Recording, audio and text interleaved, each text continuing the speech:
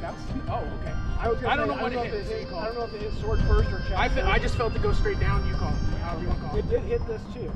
So you call it however you want. I'll take it. Okay. I was saying because I had my shield.